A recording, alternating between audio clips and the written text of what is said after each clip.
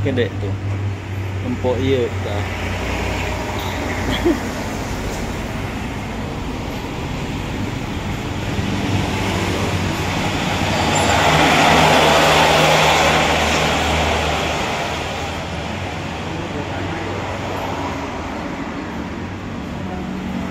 Yeah, I don't know.